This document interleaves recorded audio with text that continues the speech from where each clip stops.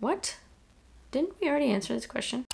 Hello everyone, welcome to my channel. My name is Ingrid and this is Ingrid Reads a Lot. I thought that for my first video on this channel, it would be very fitting to do the newbie booktube tag. The newbie tag for booktube, booktube newbie tag. All right, let's just jump right in.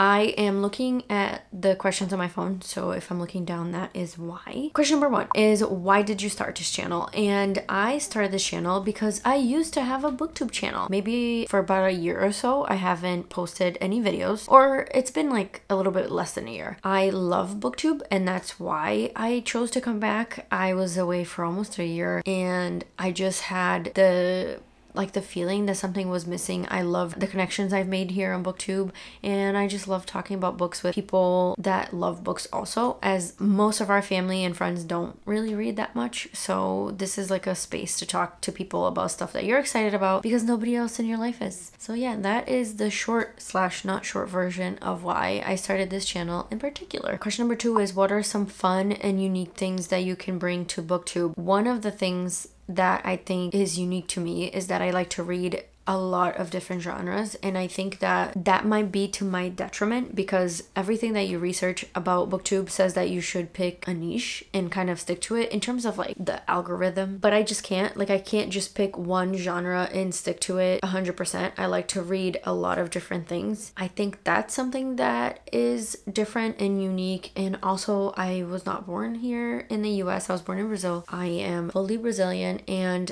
that's also something that's different. I know we have some Brazilian booktubers that have kind of been in the space, but I don't think I've ever met another booktuber that is also Brazilian and lives in the US or Canada or outside of Brazil. So if you guys know of anyone, leave their channels on the comments so that I can meet new people. Question number three is what are you most excited for about this new channel? I kind of mentioned briefly, but basically talking to people about books. That is the biggest reason why I love booktube and talking to other booktubers. Like that was one of my favorite parts of being on booktube, the genuine friendships that I've made. If you're not part of booktube, I don't think I would have ever made those friendships and I'm just excited to get back into talking to people about books because I haven't really read that much recently like since I've been away.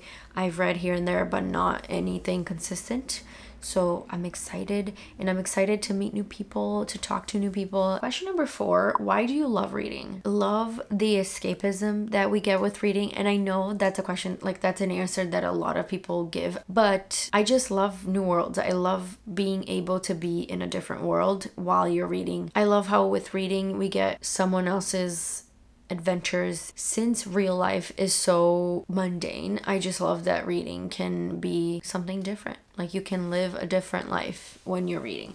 And i know that that's like cliche but it's so true. That's part of the reason why i read so much fantasy and why i don't love reading contemporary because i'm already living in it you know? So I don't find that I'm super interested in contemporary books.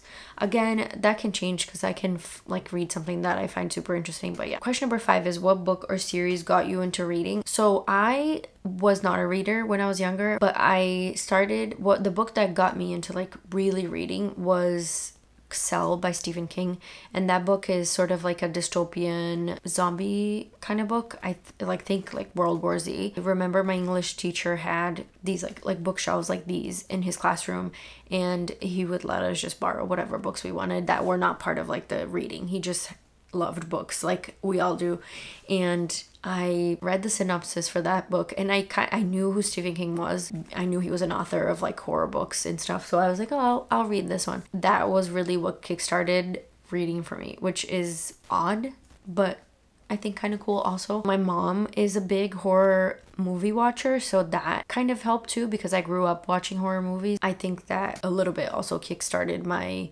penchant for picking up Stephen King, but that was the book. And then I read when I was in high school, and then I stopped for a while. And what got me back into like reading, like I do now for booktube and stuff, like reading consistently a lot was a court of thorns and roses i actually saw she was a she's a youtuber but not booktube and I think like lifestyle and makeup and stuff. And she just made a video about books that she liked. I thought it was so funny that a random YouTuber was the person that introduced me to booktube because she talked about these books. And then in my head, I'm thinking, I wonder if there's people that all they talk about on YouTube is books. And then I found booktube. This was like eight, nine years ago.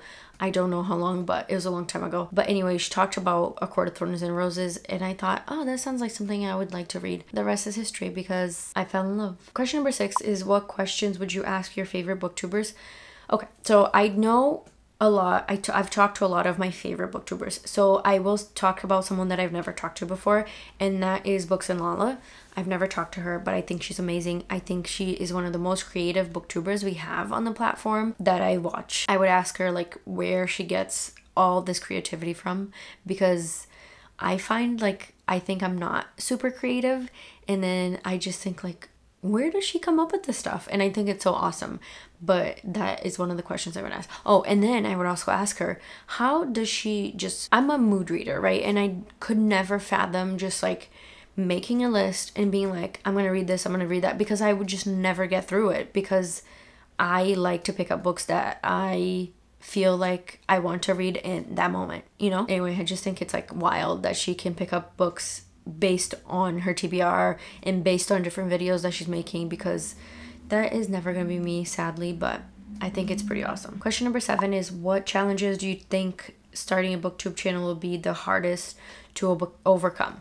And for me, it's definitely going to be consistency because I found that I have a hard time being consistent posting videos. And I think that was another reason why I wanted to start a new channel and have like a fresh start is because I'm gonna commit to doing this, like actually doing this. Another thing is like being true to what I want to film. And I've heard people talk about this, but I think I'm the opposite. Like, I, when I had the other channel, I would not film a certain type of video or I wouldn't talk about a, cer- a certain book because I felt like everyone else was talking about it and there didn't need to be one more person talking about it. So instead of like filming, because I hear people talking about booktubers always filming like the popular videos or whatever, like I wouldn't do that because I would think that everybody else is already talking about it, so I don't need to add to the conversation. But at the same time, I wanted to talk about those books and the channel is mine. So like why didn't I? I felt like I didn't need to and that people would be like, "Oh, I'm not going to watch that because everybody else is already making this kind of video." But I think it was all in my head, honestly. I overthought it so much and now I'm going to commit to like filming what I want to film, regardless if I think someone's to watch or not. Question number 8 is when did you start reading? What? Didn't we already answer this question? Well, I already answered that because I talked about it in my other question of the book that got you into reading. So I answered that. It was my English teacher, and I think I was a freshman in high school. Question number nine is where do you read? Anywhere. I do a lot of e-reading and audiobook listening, especially if I'm doing stuff around the house. So I will mostly read on my couch, but I also read in bed at night. Question number 10. What kind of books do you like to read? A variety. And that's my problem, I think, because I don't stick to something. But I love reading fantasy. I like reading horror. I like reading mystery thrillers. I like reading nonfiction. I like reading uh, sci-fi. And I will say those. My least favorite books, the question didn't ask me that, but I will tell you. My least favorite books to read are contemporary books. I, I will read some contemporary romance sometimes if it's like if the premise is interesting, but I don't love contemporary books in the sense of reading about someone's struggles in life, stuff like that. But again, I contradict myself all the time because I've read books like that and I really enjoyed them. So I don't know. I don't know. I would like to read everything. I guess we'll end it at that. I hope you enjoyed this video and I hope you got to know me a little bit better. And if you have any questions, please ask them down in the comments. I will try to post videos twice a week. That is all I want to tell you guys. I hope you enjoyed. I'll see you in the next one. Goodbye.